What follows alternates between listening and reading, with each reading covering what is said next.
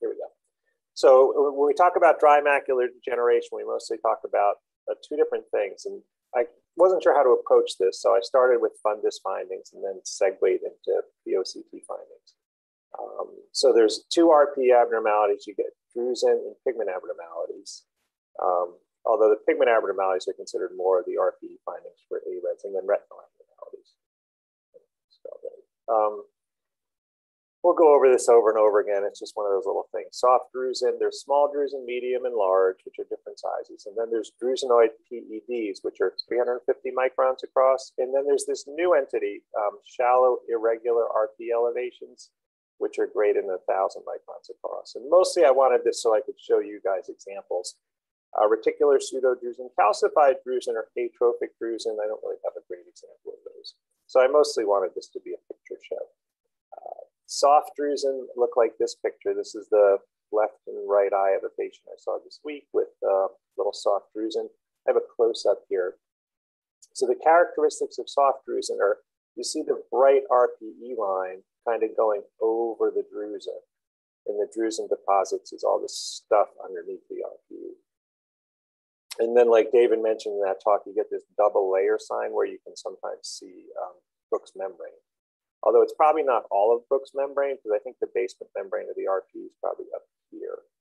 Uh, and then this is probably more the basement membrane of the choriocapillaris. So these are typical soft drusen, and you see the retina kind of going over them.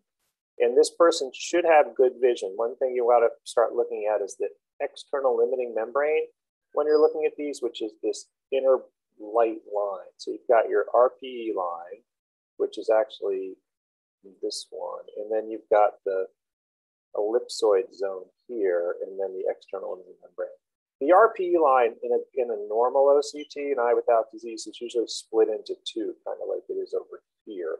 But when you get into here, it kind of runs together. So it's tricky. Um, so that's soft drusen. And then the other characterization is confluent drusen, which is just soft drusen running together. This is a funny image. This is one of my patients with a lot of drusen absent in the middle. So here's absent drusen, and then you get these confluent drusen just running together. So you see there's the Bruch's membrane back here, and then you got your RP up here, and then you get all this junk underneath. Reticular pseudodrusen are totally different. And some people think these, some people call them subretinal drusenoid deposits.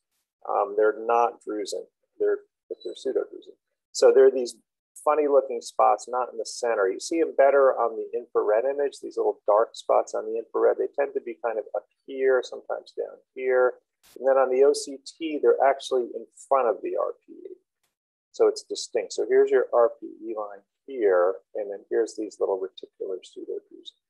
These are pretty common when you get into your really old patients, when you get 85, 95 year olds. You'll almost always see reticular pseudodrusen. They have not been integrated well into the uh, grading scheme. Here's another case, an 88 year old patient with poor night vision. It's pretty common to have poor night vision. You see these little spots up here on the infrared, they're more visible. And then when you look at the OCT, you see the RPE line's pretty straight. And then in front of the, oops, in front of the RPE line, you get these little bumps. So those are reticular pseudodrusen. They're different from soft drusen. So those are kind of your two main drusen. There's the soft drusen and reticular pseudodrusen. This is this shallow, irregular RP elevation, the SIRE, which is a new thing, which uh, I think David in that lecture said that Phil Rosenfeld calls this the double layer sign. So you got the RP coming up. It looks like kind of you would see in soft drusen, but then you've got the Bruch's line down here, and then you've got this material. But this is really big. This is like probably 2,000 microns across, and then there's another thing over here. So these are greater than 1,000 microns across. They're small and they tend to harbor neovascular membranes about a quarter of the time. This is, excuse me, this is a color picture in an ICG of this patient. And the ICG shows a neovascular complex, but it's, so it's non-exudative neovascular complex, but sometimes these are dry. So that's a shallow, irregular RP elevation or a double layer sign. Um, so those are your drusen. And then RP abnormalities are, are categorized separately for classifications and also for the purposes of learning. So there's the, the, RP abnormalities always confuse me a little bit. So there's focal hyperpigmentation, focal hypopigmentation, and geographic atrophy. I had to really dig for these, and I had to take all these new pictures because I don't want to take pictures of dry maculas. Um, so Dr. Cohen? Yep. Oh, can you hear me? Quick question about the Sure. SIRE. You said it's a non-exudative neovascular complex. That's a new thing. At 25% of the time, there's a neovascular membrane. This patient has one, and so this Uh-huh. is considered a neovascular membrane here. It is a neovascular membrane here, because you see it on the ICG. Um, but there's no fluid. So if there's no fluid, and there's no lipid, and there's no blood, it's considered non-exudative. And this is this was something you couldn't do with fluorescein, so it's a new thing, and it's especially new with OCT angiography. Um, so there's a new category, and this has been characterized. I want this is if you go out a year or two years, one or two years, the risk of them converting to exudative is about five or ten percent. Um, David referenced the study that his friends, I think, up at Tufts did, where they tried treating these patients to see if it changed the outcome. It didn't seem to matter very much. The fact is, they're pretty benign. This patient, I think this specific patient has been seeing me for five or more years with the same lesion and actually has really good vision, um, 20, 25 vision. There's been this thing for. There's been a thing in ophthalmology for a while that in some neovascular membranes, in some people may be physiologic. They may actually help nourish the retina, which is kind of a weird concept. Um, there's an old pathology study, histopathology study, very old, probably 40 or 50 years old, where I think Dick Green found neovascular membranes in an enormous number of um, eyes of elderly people. So it may be that you're sprouting these little things to help the retina. Um, but anyway, so yeah, it's non-exudate, which is a, a very weird idea. Um, RP abnormalities, oh sure, RP abnormalities, you got focal, uh, hypo and hyperpigmentation, geographic atrophy. The cutoff, I don't think you need to know this, the cutoff for geographic atrophy is 175 microns. It's actually in the textbook. I, I had to go back to the textbook to find that. People don't usually use that. So focal hyperpigmentation, I've, what on an OCT, it looks like these little hyper intraretinal hyperreflective spots. So here's a patient with these big drusen or drusenoid PEDs. Here's a little pigment spot here, and then here's what it looks like on OCT. So and as far as we understand that, that's RPE kind of detaching, or pig, pigment, melanin detaching from the RPE and kind of migrating into the retina. And this is often a precursor of geographic atrophy or atrophy when the pigment starts to do that. Is it incorrect to call those pigment migrations? No, no, I think that would be probably accurate to pigment migration, on pigment migration. Um, it's it's uh, when you're reading an image, though, you don't want to get too far along. So if you have all of this, you can say, oh, these are pigment migrations. But if you have just an OCT, just call them intraretinal hyperreflective spots, which is a, has actually come into common parlance. So there's several things that can be intraretinal hyperreflective spots, but one of the big ones is pigment. And you can see a little shadowing underneath it. This is another little hyperpigmentation. Kind of, again, there's a little disruption of the RPE by this bump here, and then there's a little spot there. And then if you look under, this is pretty subtle. That's not a really good one. This was a better one. This is these are all literally from the last four days. So this is a patient that had a bunch of these little pigment spots, and when you scan them, you can pick up these little intraretinal hyperreflective spots. Um, so that's focal hyperpigmentation. Focal hypopigmentation is a little tougher. I, I, I think it's just little atrophy spots over drusen sometimes. It's I have trouble calling focal, hypopigmentation um, or spots that are too small to be called geographic atrophy. So this is a little light spot. You might say that's a drusen, but it's a little irregular with some hyperpigmentation. So I thought that might be one. Here's one with two spots, the same eye. There's a bump over here, and then there's sort of a little atrophic area starting over here. And so this is the first spot over here, and this is the second spot over here. So I consider those little areas of hypopigmentation. You know, if, if this is normal pigment, oops, if this is normal pigment here, then that's light. So that counts.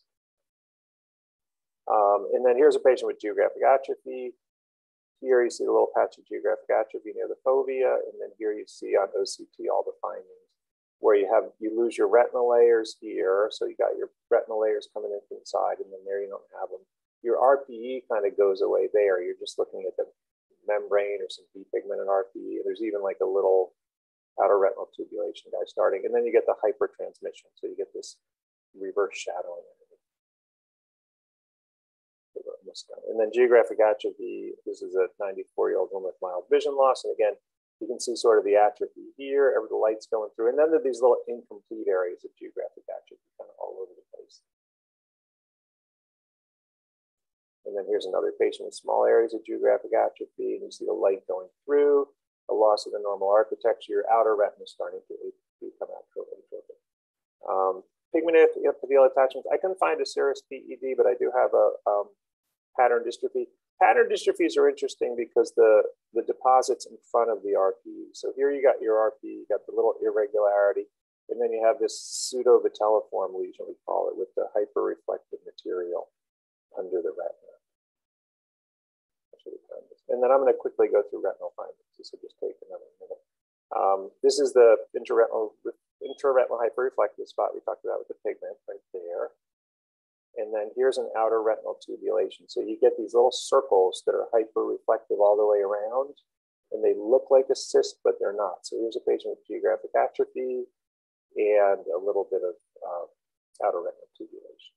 And if you follow these, they look like tubes. If you if you do whatever face OCTs or you kind of do sequential OCTs, they run through the retina.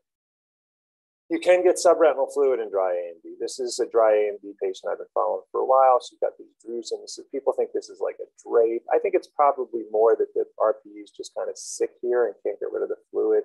I do find they tend to be sort of toward the middle of the fovea. I think the very center of the fovea has some trouble with, with fluid in, in certain disease entities. And um, this is a dry AMD. So you got to be a little cautious. Would you treat that? No, absolutely not and I have an ICG. And nowadays you can do OCT angiography to confirm that it's dry. The other thing to warn you, which I didn't put in this talk because I wanted to be short, is, is you can have dry AMD and other diseases. Like I have a fascinating patient with dry AMD and macular telangiectasia who's been to a lot of retina people.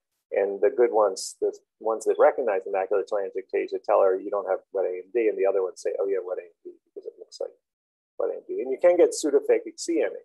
So that's why sometimes if you have something that looks like, or diabetics, I've seen, I actually had a patient recently who was diabetic and a very good retina specialist thought it was wet AMD, but it was diabetes. So just because you have AMD and you have fluid doesn't mean it's from the AMD. Um, like that choroid's a little thick, but yeah, And then outer retinal atrophy is a very common thing. So you look, you see your outer nuclear layer, here's all your layers, they're intact, and then you go here and you get this, you've got loss of your outer nuclear layer, you get loss of the external lumen membrane. And like I said, the external lumen membrane tends to go with vision. So you like to look at that. And that is it.